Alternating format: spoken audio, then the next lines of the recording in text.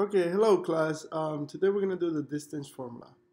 So first we need to uh, express the formula.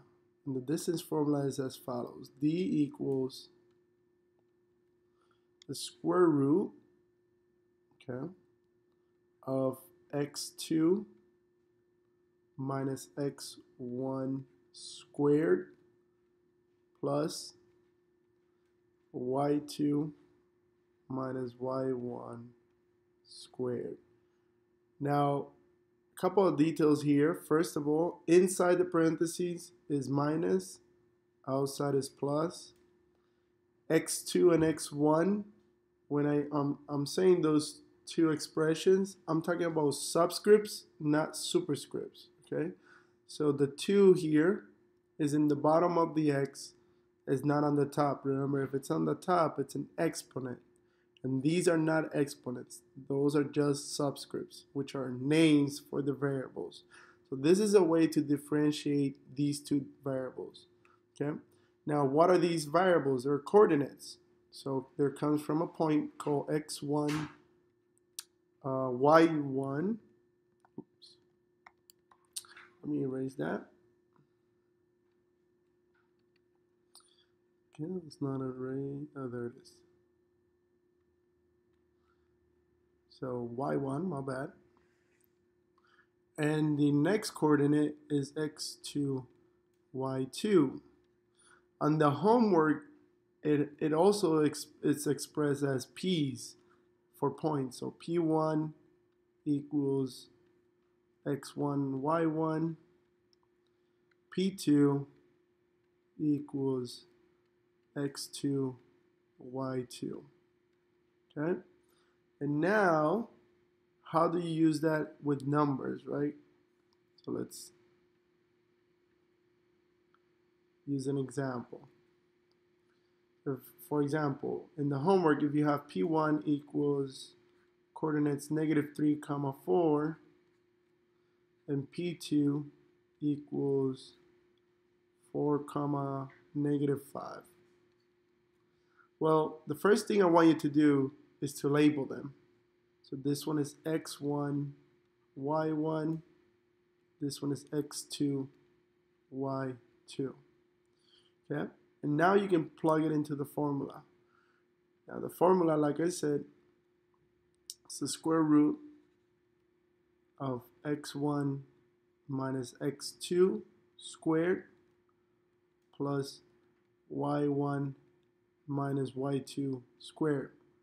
Now let me pause for a second. Notice that I changed the order, right? First I started here with x2 minus x1, and then all of a sudden I wrote x1 minus x2. Are these the same thing? And the answer is yes, they are.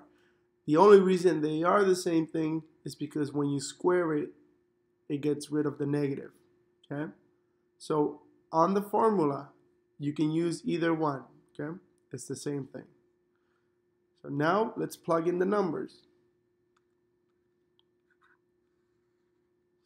x1 is negative 3.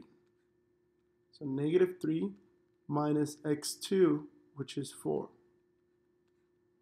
squared, plus y1 is 4, minus y2 is negative 5. Notice there's a minus in front, so I'm going to put another parenthesis and then square. This parenthesis is for the negative 5. This one is for the formula. Okay. Now let's continue. Negative 3 minus 4 is negative 7. When you have two negatives, they add. Plus keep change flip, right? Negatives and negatives. Negative times negative is a positive. So this is 4 plus 5 squared. Negative 7 squared is what? Well, it's not 14, remember? And it's not negative 14 either. Negative 7 squared is negative 7 times negative 7, which makes positive 49. 4 plus 5 is 9. Okay. Now again, what is 9 squared? It's not 18. Okay. It's 9 times 9, which is 81. Okay. Let's keep going down.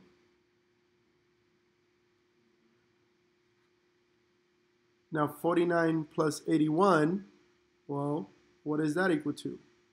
9 plus 1 is 10, 8 plus 4 is 12, plus 1 is 13, so 130. Now, on the test, you need to simplify. So 130 can be equal to what? Well, it looks like it's 10 and 13, right? Now, 13 is a prime number. 10, even though it's not a prime number, is not a perfect square and doesn't factor into perfect squares. So we need to use a different value for 130.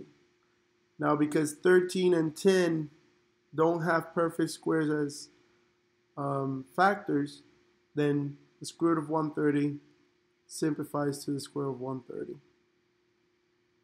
Okay? And that will be your answer. If you have any um, questions, let me know in class. And thanks for watching.